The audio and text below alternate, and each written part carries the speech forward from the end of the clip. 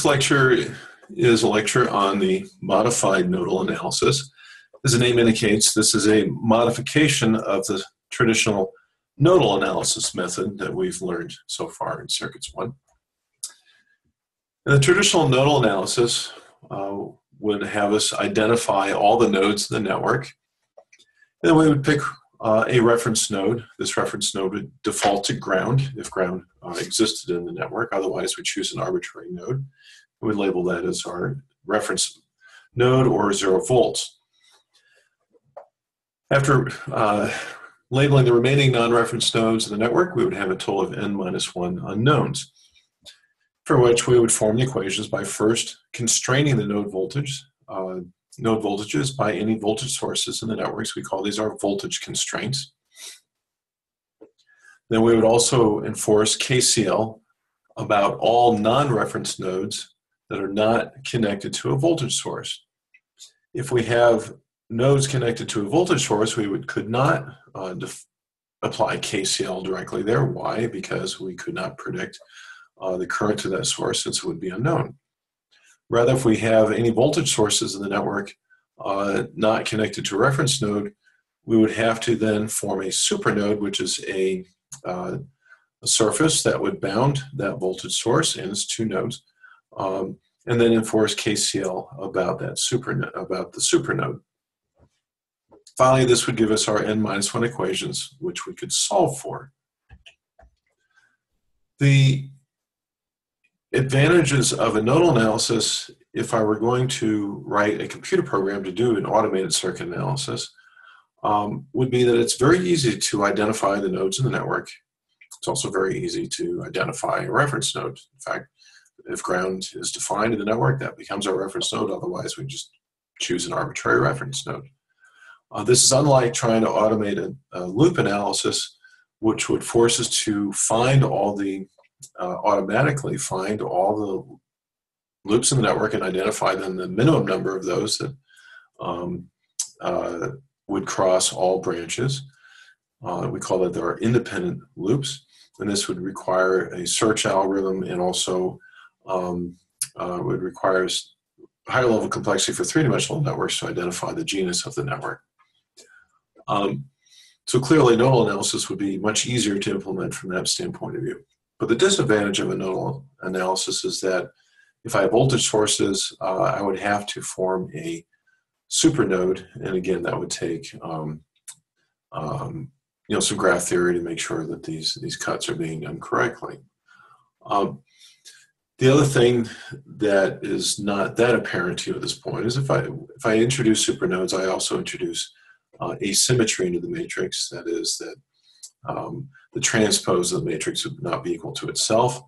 Uh, and from a computational standpoint of view, if it's symmetric, I only need to store half the matrix, since I really need to store things to the right of the uh, diagonal terms, for example.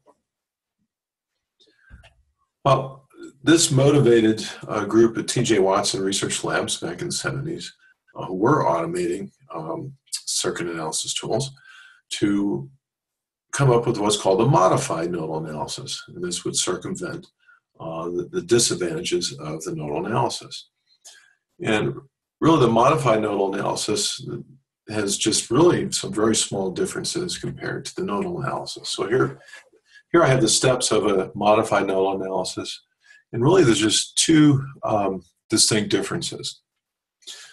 And the first is, is after we, you know, identify our nodes and label our nodes, our, our non-reference nodes on a reference node, um, we then are going to introduce a branch current as an unknown for every voltage source. So at any voltage source in the network, I'm going to introduce an unknown branch current on that branch. Um, if I was doing a transient analysis, I would also do this for uh, any branch containing an inductor, uh, which has a voltage that's proportional to the time derivative of the current on that branch.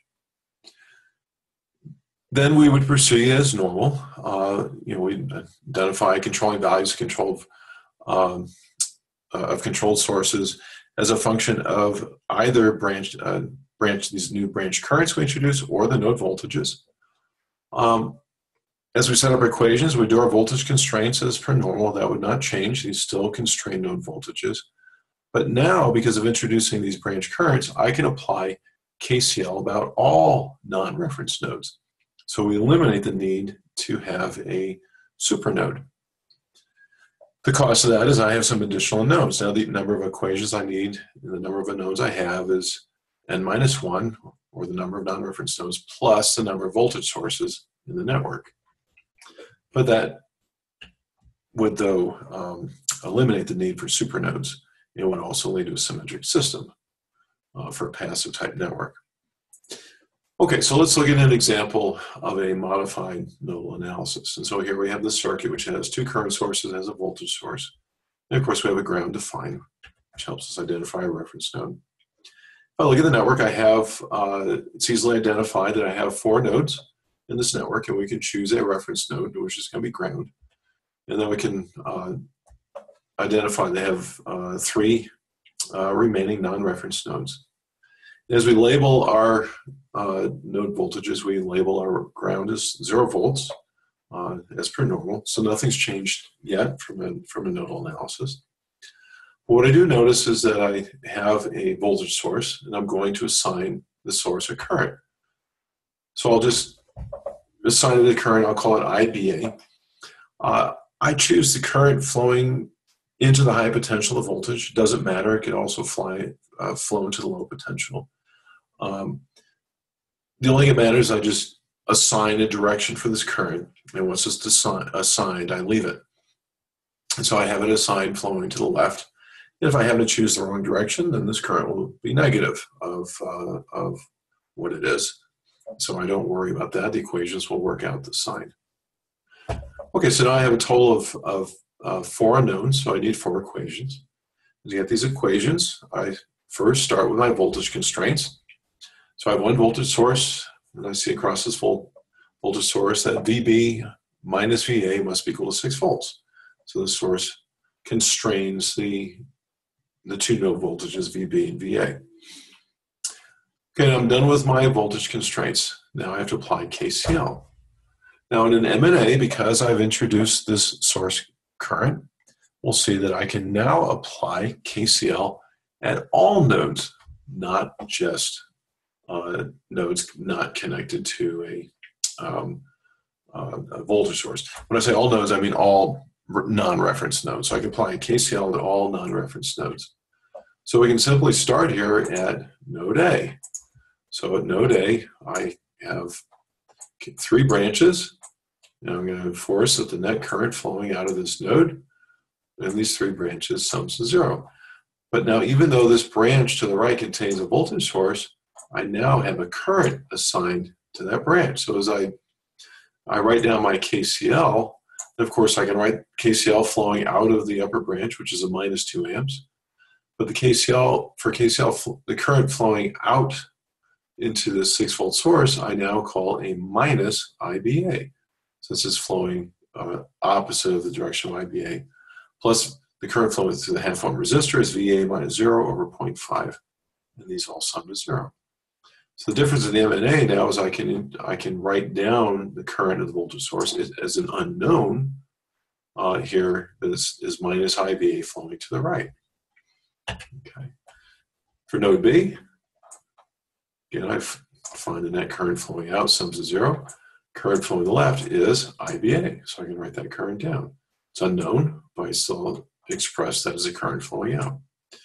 Uh, Going down, I have VB minus 0 over 0.5 ohms and VB minus VC over 0.5 ohms are the currents flowing out of the two branches, and these sum to 0.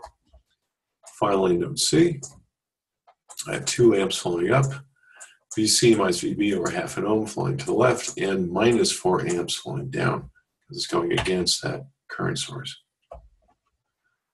So at this point, now I have one voltage constraint that's corresponding to one voltage source, three KCL equations corresponding to three node voltages, and therefore I have three plus one, or a total of four equations for my four nodes. That gives me enough equations to solve uniquely for uh, the node voltages and the source current. So here I just plug these equations into um, uh, a MathCAD worksheet. So I have my four equations, and I use MathCAD here using solve block uh, to find statement to solve. And I find that VA is minus 2 volts, and I find that VB, VB is 4 volts. Of course, 4 minus minus 2 gives me my 6 volt drop. VC is 5 volts. And I find that IBA is a minus 6 amps. So, of course, the current is flowing to the right. So this is this source indeed is producing power. So once I have calculated my node voltages and my uh, voltage source current, I can now apply Ohm's law and or KCL to compute all branch currents in the network. And this problem uh, would be solved. That is, I could do, find any any quantity I would like in this network now. So that's an example of an MNA. Um, if we resolve this using the nodal analysis, which we're familiar with, the difference is, is that um, I would have to uh, express a supernode. Why? Because I could not use KCL about node A because I don't know what that current is. I could not do it about node B. Rather, I would have to form a supernode and constrain the currents flowing out of the supernode sum to zero. Right, that's a normal nodal analysis, which obviously still works. Um, and in doing so, again, I find that uh, VA is minus 2 volts, VB is 4 volts, and VC is 5 volts. So I have arrived at exactly the same answer as, as I would expect. And if I wanted to know the source current, then of course I could find you know the voltage across uh, you know flowing out on this 0.5. So uh, ohm resistor volts flowing down here on this one. Of course, this is 8 amps, and here I have 4 minus 5 minus 1 divided by 2 sub minus 2 amps. Um, and then I would find that IBA is flowing here, and it looks like I have 6 amps flowing out by KCL, which would check. Okay, so this is our example of how to apply a modified nodal analysis. Now again, this is another analysis tool uh, to put in our toolbox.